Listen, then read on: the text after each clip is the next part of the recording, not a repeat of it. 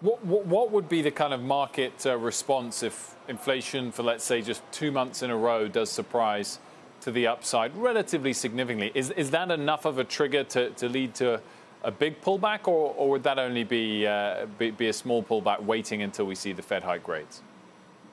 I think we can live with higher real growth. If the economy does really well, I think the market can live with higher rates.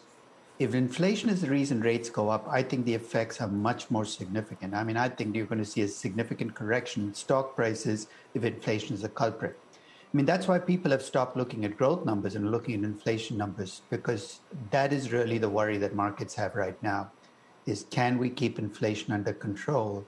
And if we cannot, then we have a real problem on our hands. So, so where, where do you want to be? I mean, treasuries aren't really acting very safe right now. I mean, if you're going to stay in stocks, I mean, you go to the old uh, fallbacks when inflation goes up. Commodity stocks, you're probably going to go to consumer product companies, which have pricing power to pass the inflation on. But the reality is, financial assets don't do well when inflation goes up. Stocks, bonds, I mean, even real estate is tied to stocks and bonds. That was our old fallback in the 1970s. So I know I, I, I think there are really no safe places. You got to you got to accept the fact that some of the gains you've had, and that's really the benefit you have after a long bull market, is even if you lose money, you're not going back to where you were in 2010. You might be going back to where you were in 2018.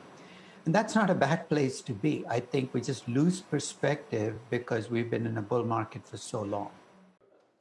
Shepard Smith here. Thanks for watching CNBC on YouTube.